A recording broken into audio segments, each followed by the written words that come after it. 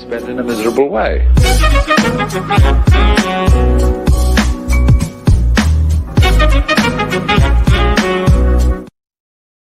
U.S. newsman accused of KI-11-ING-5 had brief marriage. Basic training Biloxi Sun Herald. January the 29th, 2019 11.23 am.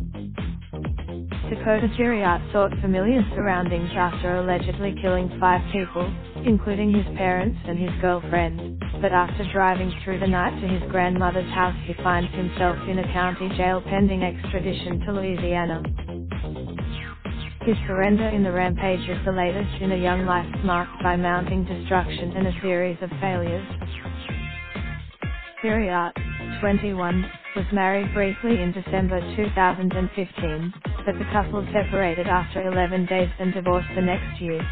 According to court, his mother later testified at a court hearing on whether a judge should impose a protective order against him, but Street. Charles Parish, for the most comprehensive local coverage, subscribe today. He did have a lot of family drama, said Kenny Hebert, the owner of South Shore Pools in Street. Charles Parish, a month later, military records show, Theriot signed up for basic training in the U.S. Armed Forces. He was out for, this past weekend, less than a month after being kicked out of his parents' home, sheriffs say. He killed three people near Walker and his parents near Gonzales, then fled for the rural Virginia coastal plains where he lived in his early teens. According to investigators, Theriot killed his girlfriend Summer Ernst, 20. Her father, Law officers in Virginia were tipped early on that the accused mass murderer was probably heading their way. But there is still no Corey Flannery, a friend of Theriot's from his time in Warsaw, a small town of about 1,500 in the northern neck of Virginia, said he remembers Theriot sitting on his couch eating cereal and smoking marijuana with him.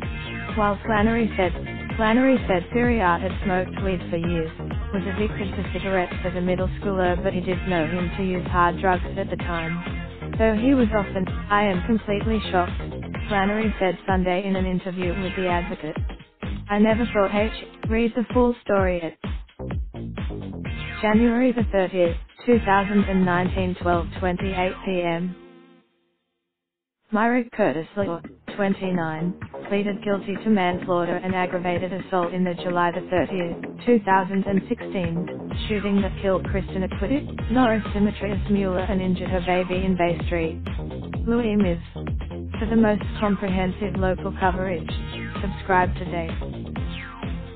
Real-time updates and all local stories you want right in the palm of your hand. Raindrop, smoking, no cooking hot pot. Fucking on your bitch, yeah, that, that, that. Looking up, open the park.